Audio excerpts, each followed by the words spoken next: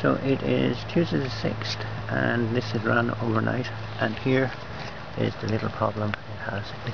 The sand filter uh, gradually blocks up with algae and I think the water might be a bit clearer now. I'm not sure. I won't uh, say anything for sure. So all we've got to do to solve this problem is to have some sort of little reflux thing where like this morning at about um, 7 o'clock the level of the water was not so high in it. It was here. And that means that it was still working good.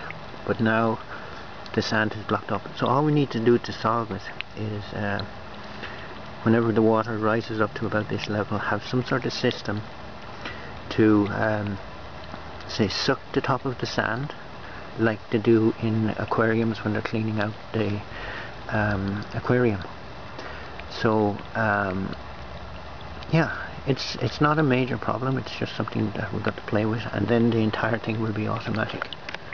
Anyway thank you bye